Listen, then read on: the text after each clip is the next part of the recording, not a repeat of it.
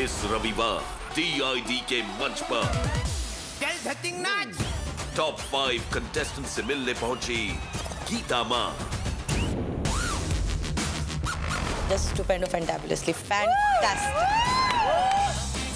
शनिवार और रविवार रात 9 बजे जी टीवी पर।